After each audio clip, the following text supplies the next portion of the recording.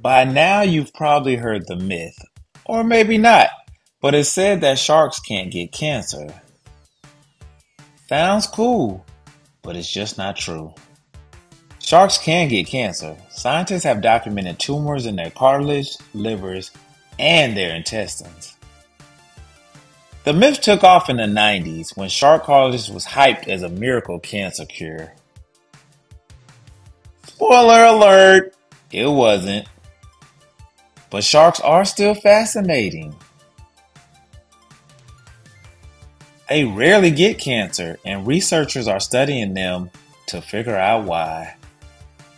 Some species have evolved genetic resistance to mutations and super efficient immune systems which might help humans one day fight cancer more effectively. So, no, sharks aren't invincible, but they might be holding a clue to the cure. The more you know, the more you grow.